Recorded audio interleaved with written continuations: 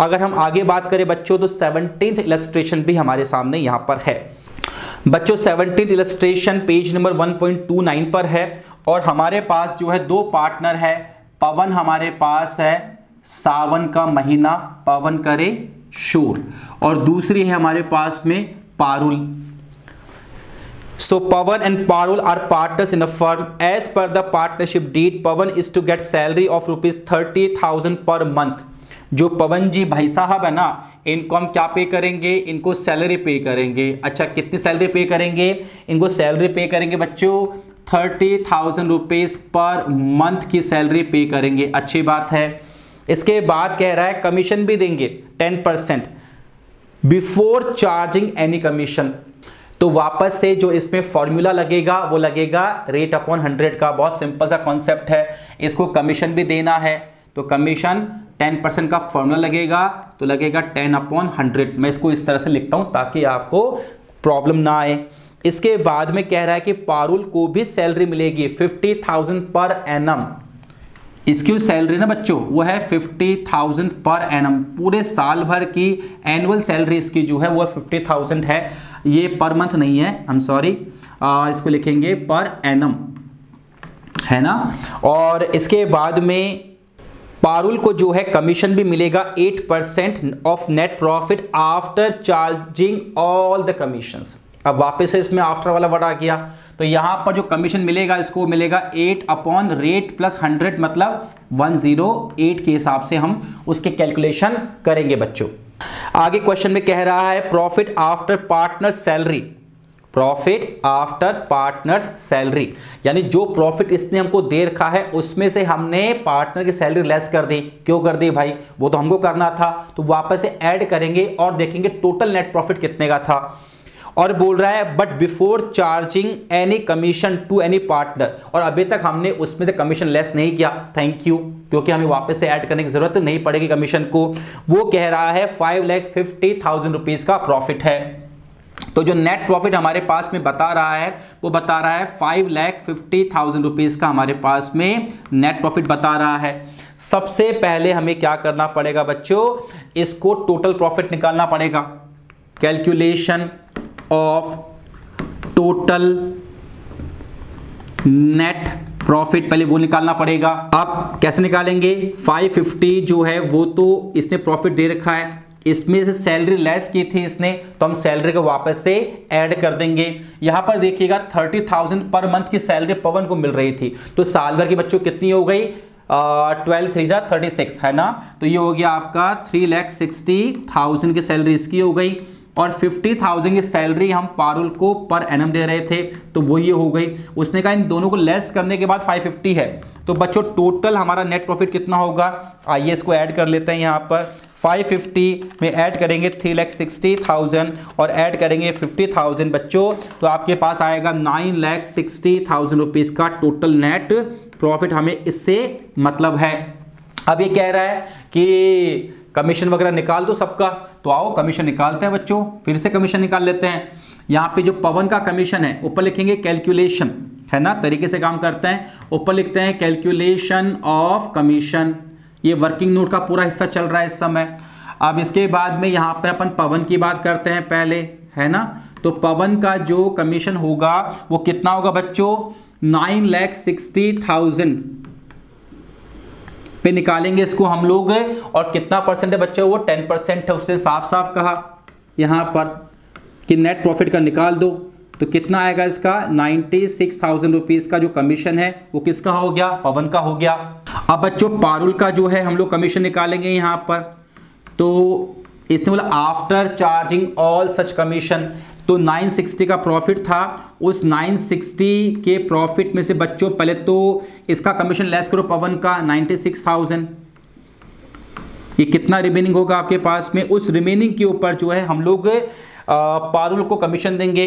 तो 960 में से हम लेस करते हैं 10 परसेंट कमीशन तो ये आएगा eight lakh sixty four thousand. तो eight lakh sixty four thousand rupees के ऊपर हम पारुल का कमीशन निकालेंगे। तो कितना आएगा? Eight lakh sixty four thousand into करेंगे इसको eight upon eight one zero eight से इसको अपन डिवाइड कर देंगे बच्चों। तो यहाँ पे जो पारुल का जो कमीशन है वो निकलेगा हमारे पास में into eight upon one zero eight तो ये आएगा सिक्सटी फोर थाउज़ेंड तो बच्चों हमारे पास में कमीशन पारुल का आ गया 64 और पवन का आ गया 96,000 आ गया बच्चों। पूरा क्वेश्चन आपके सामने है और इसके अलावा इसमें सैलरी वगैरह है है ना? तो हम एक काम करते हैं सबसे पहले जो है वो P and L appropriation account बना लेते हैं। वहाँ से हमको हर चीज़ क्लियरली समझ में आ जाएगी। बच्चों अब के बाद शॉर्ट में इसको बना रहा हूँ मैं। हालाँकि एग्ज़ाम में ऐसा बना सकते हो उसके मार्क्स नहीं करते यहाँ पर। और यहाँ पर हमने जो है, यहाँ आ जाएगा आपका पर्टिकुलर्स डेट के कॉलम के इसमें कोई खास इंपॉर्टेंस नहीं होती बच्चों। पर्टिकुलर्स अमाउंट ऊपर नाम लिख दीजिएगा इसका P and L appropriation account आप जानते हैं कि यह डेबिट होता है, यानी एक्सपेंस साइड होती है, ये होता है क्रेडिट यानी इनकम साइड होती है। अब आपको दिमाग में छपना शुरू हो गया होगा कि यार ये इनकम साइड है, ये एक्सपेंस साइड है। जिसका भी अकाउंट बना रहे हैं, उसके पॉइंट ऑफ़ व्यू से सोचना है कि उसको प्रॉफिट हो रहा है कि लॉस हो रहा है एक्सपेंस हो रहा है कि इनकम हो रहा है। अगर प्रॉफिट हुआ या इनकम हुई तो इधर दिखाना है। अगर लॉस या एक्सपेंस हुआ तो उसको इधर दिखाना है। बहुत सिंपल से कॉन्सेप्ट है बच्चों। आप सभी लोग जानते हैं बच्चों कि यहाँ पर जो सबसे पहले क्या आता है? यहाँ पर आता है बाय नेट प्रॉफिट। और बच्चों, वो कितना आया था? वो आया था आपके पास में nine lakh sixty thousand rupees का। ड्राइंग्स है नहीं तो उस पर इंटरेस्ट भी नहीं होगा। चलो, कोई फर्म की यहाँ पे इनकम नहीं होगी। इधर आ जाओ। यहाँ पे कोई आईओसी है क्या? इंटरेस्ट ऑन कैपिटल नहीं है। क्या यहाँ पे कोई सैलरी है क्या? हाँ जी, यहाँ पर सैलरी है। और सैलरी है पवन की तो पवन सैलरी या लिख देंगे पवन की सैलरी तो बच्चों, पवन की सैलरी जो है, पीछे हमने क्वेश्चन पूरा बनाया था, वहाँ देख लेते हैं। तो यहाँ पे जो पवन की सैलरी है, वो थी थर्टी थाउज़ेंड पर मंथ यानी साल भर की कितनी हो गई? तीन लाख साठ हज़ार रुपए की उसकी साल भर की सैलरी जो हमने यहाँ पे आई थी, और इसकी होगी पचास हज़ार। तो हम यहाँ लिखेंगे थ्री सिक्सटी जो सैलरी है, वो हो गई हमारे पास यहाँ पे पवन जी भाई साहब की। और जो पारुल जी देवी है पारुल देवी, उसकी सैलरी जो है यहाँ पर वो हो गई बच्चों फिफ्टी थाउज़ेंड रुपीज़ टोटल यहाँ पर आ गई। इसके बाद कमीशन भी है तो यहाँ पे आ जाएगा टू पवंस कमीशन ये लिखना पूरा पूरा पीपी का मतलब दोनों सेम होगा ये, पर लिखना पूरा पवन शॉर्ट में कुछ नहीं लिखना। मैं जो लिख रहा हूँ वो बोल रहा हूँ, ताकि आपको कंफ्यूजन ना हो, लेकिन आप शॉर्ट में कुछ नहीं लिखेंगे, नाम पूरा लिख कर आएँगे एग्ज़ाम में, ठीक है? बच्चों तो पवन का जो कमीशन था, वो आया था कितना? एक बार देख लेते हैं। पवन का कमीशन आया था नाइन्टी सिक्स थाउज़ेंड रुपीज़ का। तो यहाँ पे लिख देंगे नाइन्टी सिक्स थाउज़ेंड और इसके बाद में जो पारुल का जो कमीशन आया था बच्चों तो यहाँ लिख देंगे पारुल्स कमीशन वो कितना आया था? सिक्सटी फोर थाउज़ेंड रुपीज़ अभी मैंने पीछे कैलकुलेशन की थी, देखिए, ये रहा सिक्सटी फोर थाउज़ेंड अमाउंट उसका कमीशन आया था बच्चों। पूरा हो गया। अब बस प्रॉफिट बांट दो पार्टनर्स में तो क्या हो जाएगा? To profit transferred